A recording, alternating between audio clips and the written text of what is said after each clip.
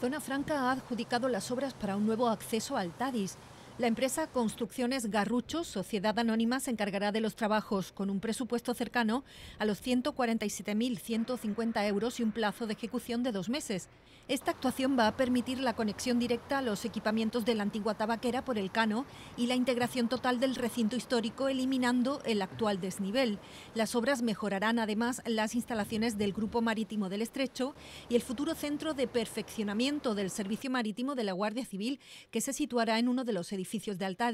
La adjudicación de esta nueva obra por parte de Zona Franca lo que pretende es crear un nuevo acceso al complejo tabaquero antiguo de Altadis y por lo tanto reintegrarlo en el propio recinto fiscal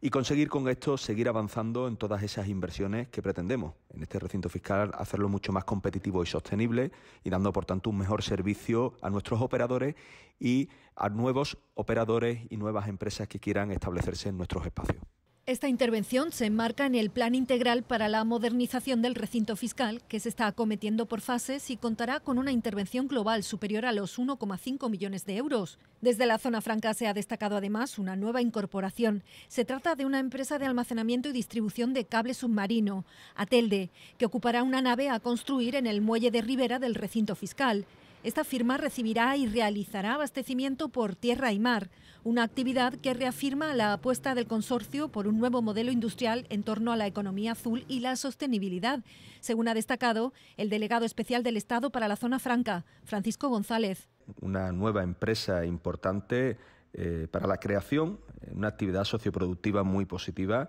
en nuestros propios espacios. Siempre hemos dicho que es una de nuestras fortalezas, nuestra magnífica ubicación, por eso de ser estratégica, una conexión natural entre África y América, y en ese sentido esa situación ha sido en este caso decisiva. Y por otro lado, quisiera reafirmar el compromiso de la zona franca de Cádiz con ese nuevo modelo industrial basado en parámetros de sostenibilidad